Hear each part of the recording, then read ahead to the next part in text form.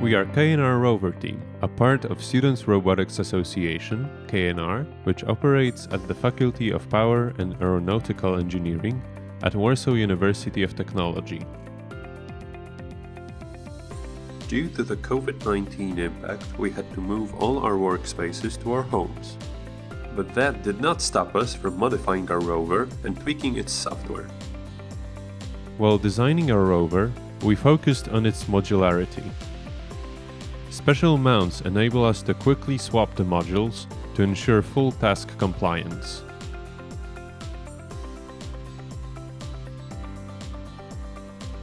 In the rover, we mostly utilize elements designed and constructed by team members, from circuit boards to mechanical components such as hulls aluminum sheets or suspension shafts. We decided to revamp the previously used rocker bogie suspension. Additionally, we installed new, more powerful and reliable drive modules coupled with our own proven wheel design. The wheels consist of polyurethane foam molded on 3D printed rims with aluminum spokes.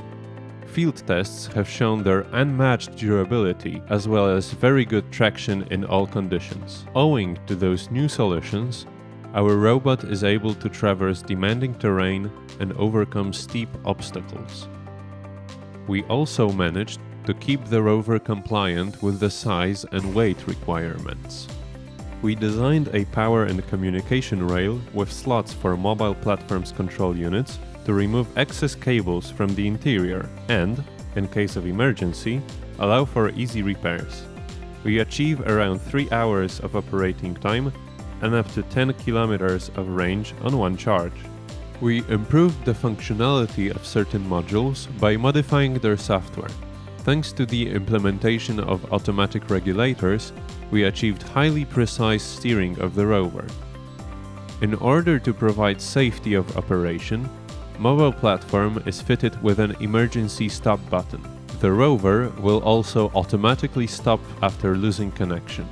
2.4 GHz Wi-Fi provides communication between the robot and the operator. Our new vision system consists of digital cameras as well as analog ones. Thanks to this upgrade, we achieved high redundancy of the system. Analog cameras provide low latency stream, while the digital ones give us high resolution video stream sent over Wi-Fi. For our operators' convenience, we designed a specialized control panel to allow for precise steering of each of the rover's modules. In most tasks, we utilize a 6 degree of freedom manipulator.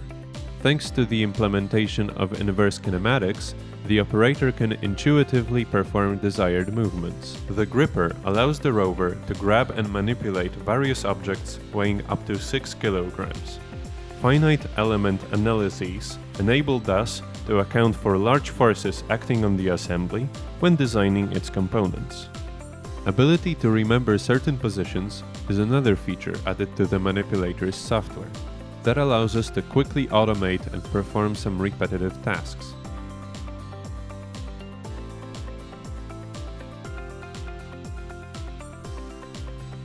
A secondary gripper of our own design provides the manipulator with the ability to extract a soil sample and store it in the laboratory module. We designed a microflow system for our lab module which allows us to conduct the biological experiments using a minimal amount of sample material. Thanks to the capillary force, the solutions will be able to move without applying any pressure, and the reagents will be mixed while flowing through the system of tubes. The colored reaction products of Ninhydrin test, Seliwanoff's test, and discoloration of bromine water, which provide information on presence of biochemical compounds, will be analyzed visually and with a spectrophotometer. The autonomy module consists of many devices, such as an IMU, a stereoscopic camera, or a main processing unit.